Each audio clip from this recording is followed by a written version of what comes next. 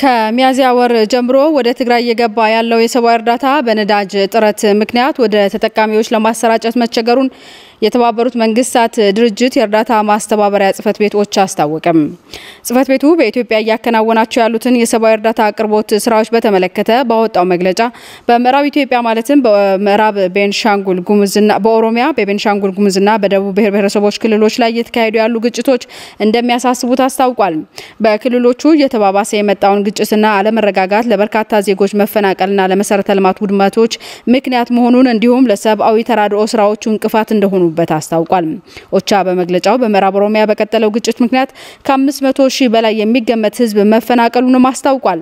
በኢትዮጵያ በግጭት ከተጠቀሱት ደቡባዊ ኦሮሚያና አፋር ክልል ጨምሮ በተከሰተው ድርቅ ምክንያት ተጠቂ ከሆኑ ከ8 ሚሊዮን በላይ ህዝብ መካከል ከ4.5 ሚሊዮን የሚሆኑ ሰብአዊ እርዳታ እንዳልተደረሰላቸው ኦቻ አስታውቋል። የተባበሩት መንግስታት ድርጅት ከሰብአዊ ተራድኦ አጋር ድርጅቶች ጋር በመተባበር በትግራይ አፋርና አማራ ክልሎች ሰብአዊ እርዳታ ለሚያስፈልጋቸው ወገኖች ለማዳረስ እየሰራ መሆኑን የገለጸው ኦቻ በሶስቱም ክልሎች ከ13 ሚሊዮን በላይ ህዝብ ምግብና ሌሎች ሰብአዊ ድጋፎች እንደሚሻ አመላክቷል።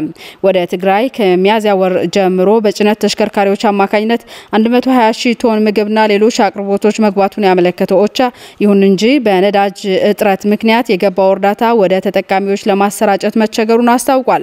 ከሚያዝያ ወር ጀምሮ እስካሁን ድረስ 987 ሺህ ሊትር ነዳጅ ወደ ትግራይ ገብቷል ያለው ኦቻ ይሁን እንጂ የገባውን እርዳታ ለተጠቃሚዎች ወደሚገኙባቸው አካባቢዎች ለማድረስ በወር ከሁለት ሚሊዮን ሊትር በላይ ነዳጅ መግባት እንዳለበትም አሳስቧል።